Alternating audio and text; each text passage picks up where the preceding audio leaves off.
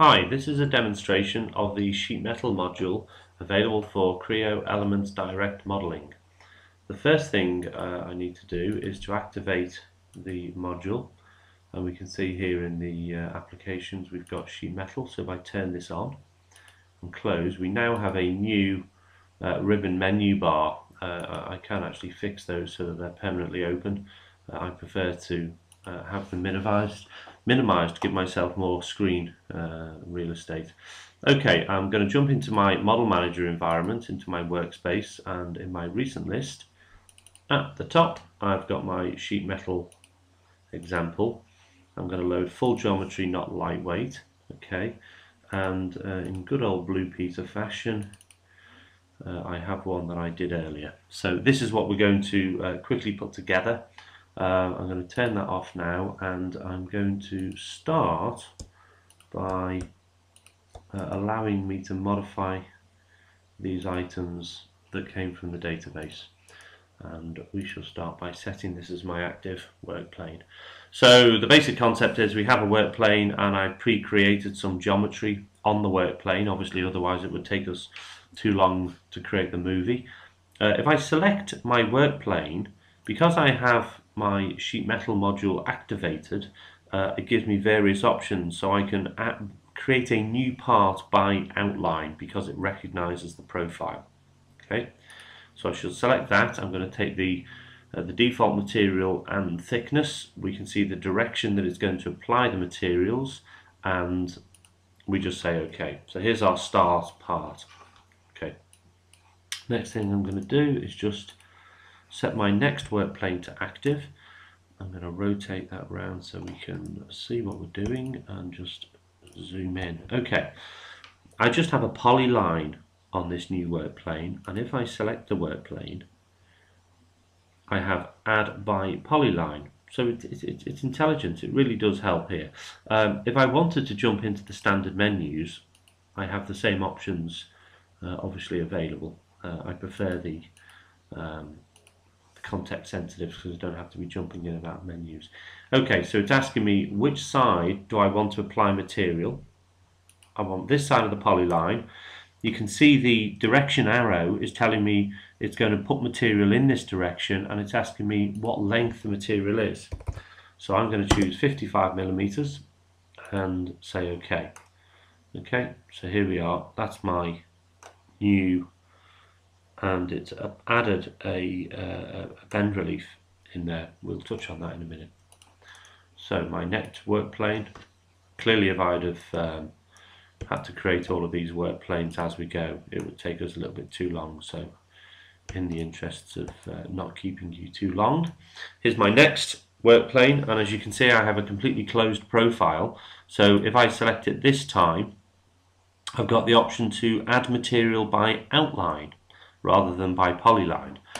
If I choose this, um, this is where you get the, the bend process option, so bending, bend forming, etc. And you can pick uh, radiuses. You can also choose which type of bend relief uh, that you want, etc. Uh, so if I say OK, we've added this material, and as you can see in this area here, let me just zoom in we can see the bend reliefs that have been applied. Okay, so everywhere that we're using this, uh, we're going to start to see these bend reliefs. So the next one is we're going to add a corner plate here. And if I do this, again we've got a single polyline.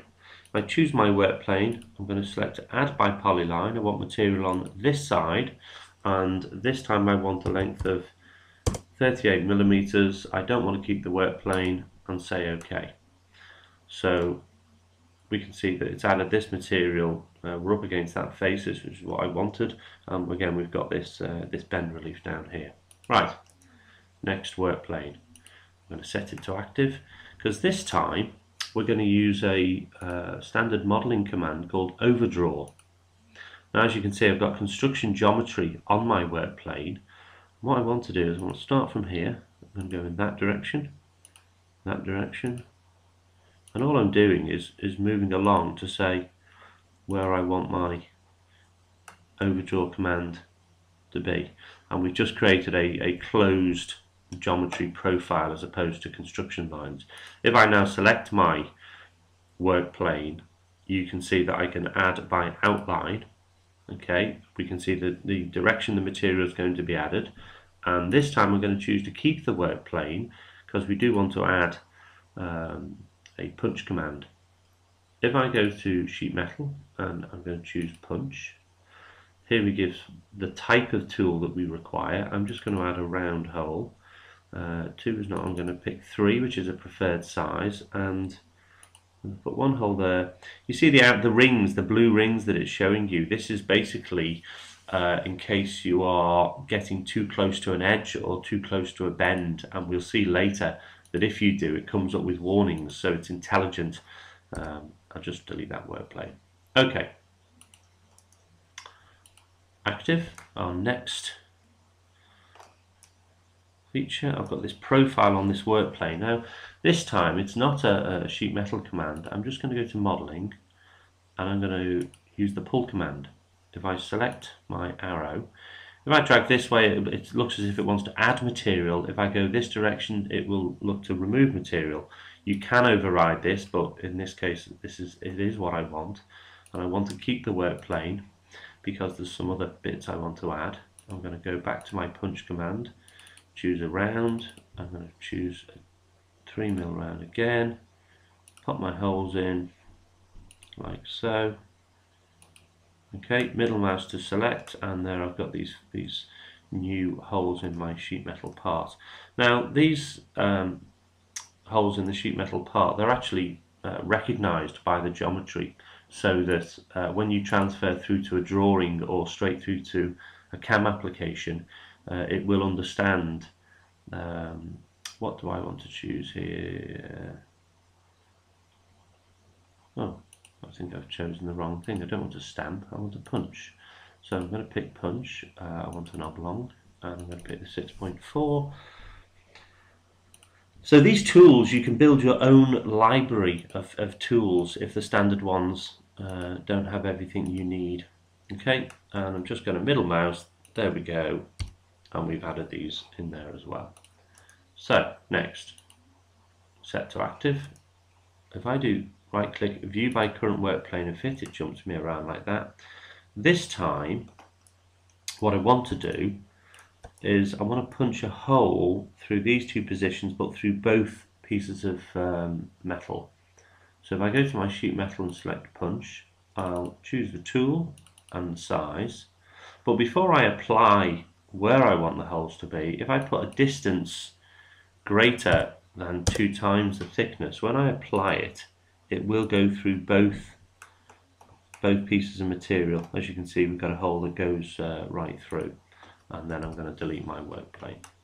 Okay, uh, next, uh, I think we need a, a cable slot at the back, which is here. Okay, so we need to put a lip on this edge. If I select an edge, it gives me the option to add a, a, a lip or a, an offset or a, hem. So I'm going to choose to um, apply a lip. Uh, it's showing me the direction it will add the material. I'm going to pick a lip length of 38 millimeters. Okay now my, my, my problem here is I'm too close to this edge and as you can see can't see too well underneath we've already got uh, a bend relief at this corner and I don't want those conflicting so what I'm going to do, and there's all sorts of uh, corner and angle options, etc. here. I'm just going to bring this in 10 millimeters because I don't need this material. Okay, um, happy with that. Don't need to keep the work plane and say OK. So I've got my uh, my lip on this edge now. Uh, I'm going to choose this. Uh, and really, what I again I want to go into my standard modeling, use the pull command, remove material and say OK. OK. Um, next one, set active. OK. And move over like so. So I've got two profiles and we're going to add material to both at the same time. It's doing automatically selecting by outline because it understands that it's found two closed profiles. So I shall accept that I'm going to keep the work plane because there's something else I want to add. So I've added my two lips here with the necessary bend reliefs in. Go to my sheet metal, select the punch command, choose a round, three millimeters. So this time when I choose um, my um, where I'm going to place this hole, we can actually see that it's close to this bend here. When I select to place it, it's telling me that I'm too close to the bend and the, the minimal distance needs to be 6.4 millimeters away. Um, it's an orange warning so that it will actually allow you to continue. If you get a red warning, it means it will definitely deform the material so that you shouldn't do it. I'm going to select to continue, okay, because I'm just going to move along to my other area here and I'm going to choose one. I'll get the same warning, which I'm expecting, and I'm going to put one at the top, which is fine. Okay, I'm going to choose to delete that work plane. I'm going to zoom out and pan along. So there you go, my two new lips on those edges. Okay, next I need to, oops, in this area I'm going to put a lip on this edge I'm going to put a lip of the material in that direction of 25, oops, 26 millimeters. Tap to accept and say OK. So there's that. Now what I'm going to do is I'm going to put a uh, what I call a joggle. It, it, it, um, it calls them an offset. I don't know why I call it a joggle. It must be an old-fashioned name along this edge so it walks me down the options I need which is the split point. It's going to split about that construction line and this is the raising face. So if I say OK and you'll see what it's done. It's basically put a, a joggle and raised that face out. Right um, I can select this work plane and I can just hit delete to remove it.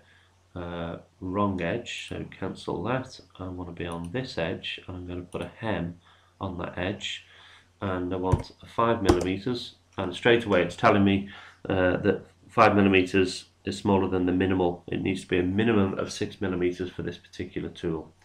Okay so I'm going to cancel that going to make it 6 millimeters and select OK and there I've got my, my hem.